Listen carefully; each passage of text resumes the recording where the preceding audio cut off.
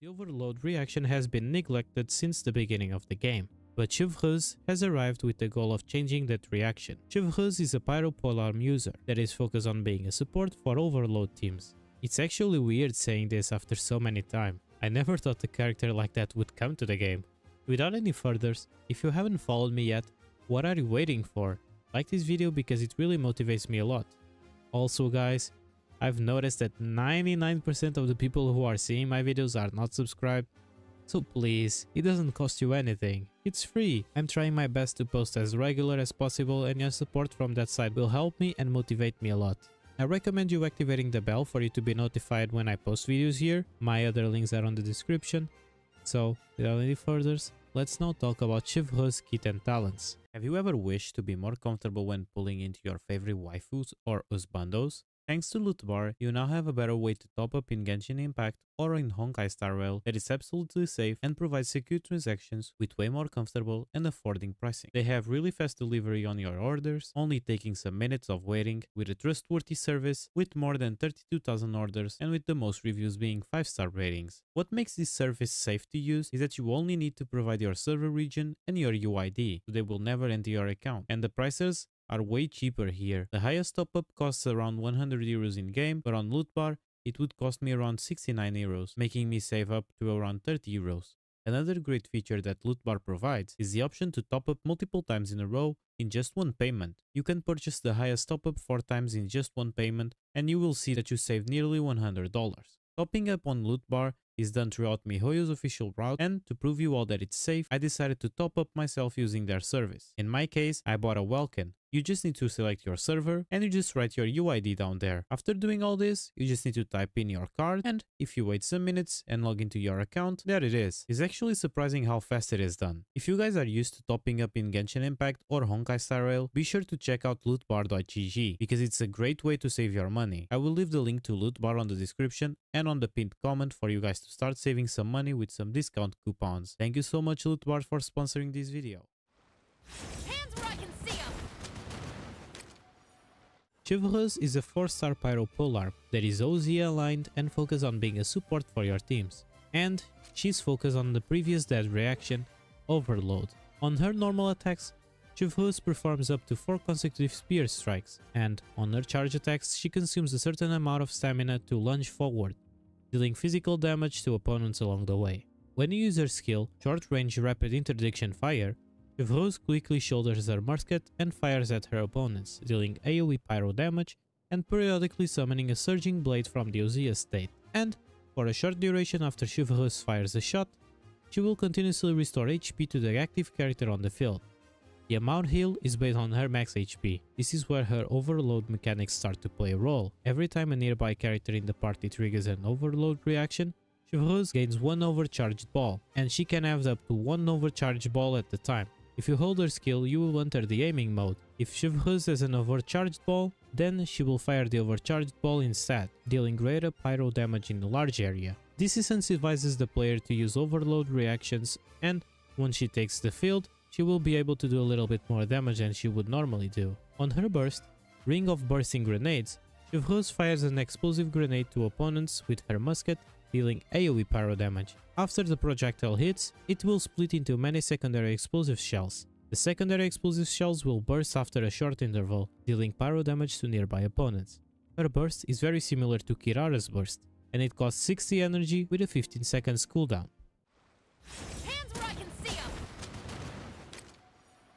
Now let's talk about Chevreuse passives, because this is where things get interesting. Her exploration passive decreases sprinting stamina consumption for your own party members by 20%. It's that type of passive that we never refuse, but it's nothing special. With her fourth ascension passive, Vanguard's coordinated tactics, when the elemental type of all party members is Pyro or Electro, and there is at least one Pyro and one Electro characters in the party, Chevreuse grants coordinated tactics to party members. And what is coordinated tactics? After the character triggers the overload reaction, the pyro and electro resistance of the opponents affected by this overload reaction will be decreased by 40% for 6 seconds. The coordinated tactics effect will be removed when the elemental types of the characters in the party do not meet the basic requirements for the passive talent. This passive has a pretty similar mechanic to Nilou passive, where if you have only two specific types, it will change your reaction on the game. To summarize, If you only have Pyro and Electro characters on the team, every time you do an overload reaction, you will decrease the Pyro and Electro resistance from the enemies by 40%. And on her second Ascension passive, Vertical Force Coordination, after Chevreuse fires an overcharged ball using her skill, nearby Pyro and Electro characters in the party gain 1% increased attack for every 1000 max HP Chevreuse has for 30 seconds. And the max you can increase of the attack is up to 40%. Her talent priorities are the following. Focus on her skill first, because it will be her main source of supporting your team with heals and with the passive, then her burst for extra damage, and for less her normal attacks, that you can leave on level 1 because they are pretty much useless. Now let's talk a bit about Chevreuse constellations, because I'm assuming some of you got some of her constellations going after Raiden and Yoimiya for your accounts. On her C1, when the active character with the coordinated tactic status, excluding Chevreuse, triggers the overload reaction, they will recover 6 energy. This effect can be triggered once every 10 seconds. These constellations turn Chevreuse into a possible battery for your team, proving it to be a good constellation that will help your team overall.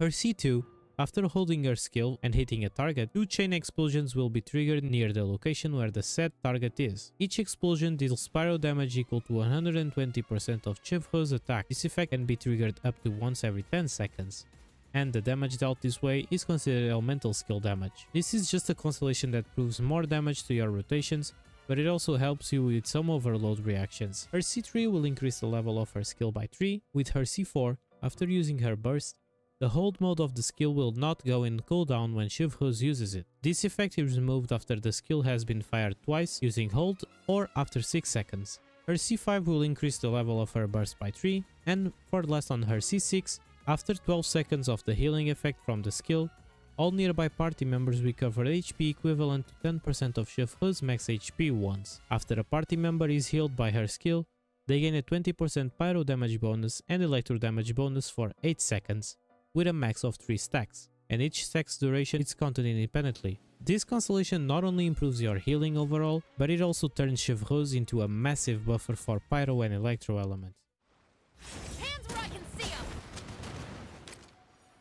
It's finally time to talk about the best artifact sets that you will want to use for your Chevreuse. Chevreuse doesn't have a best in slot set, because she can utilize a lot of them, so it will mostly depend on what you prefer. If you want to maximize her healing capabilities while providing small buffs, 4-piece tenacity will be your best pick. She will enjoy the HP percent from the 2-piece, but will not be proccing the 4-piece passive that often because her skill has a 12 seconds cooldown. But if you want to focus on Chevreuse more on the buffing side, 4-piece Noblesse will be your go-to. With the 2-piece you will improve her burst damage for 20%, and with the 4-piece it will give a consistent 20% attack bonus for 12 seconds after you use your burst. Unlike the 4-piece tenacity, this attack buff will last longer, but you will lose a little bit of your healing capabilities, and maybe with the HP target. Alternatively, if you don't want any of these options, you can always mix and match two pieces between the HP and the healing bonus sets.